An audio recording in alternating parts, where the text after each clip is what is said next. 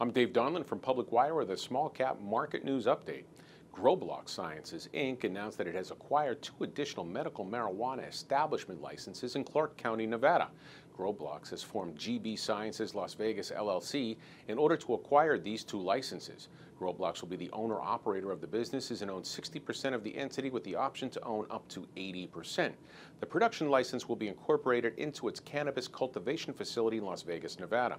The cultivation license expands its current Nevada cultivation capacity well beyond the current capacity of 28,000 square feet, which can support 4,000 plants with a $20 million run rate at full production. I'm Dave Donlin with an update on GBLX for Public Wire.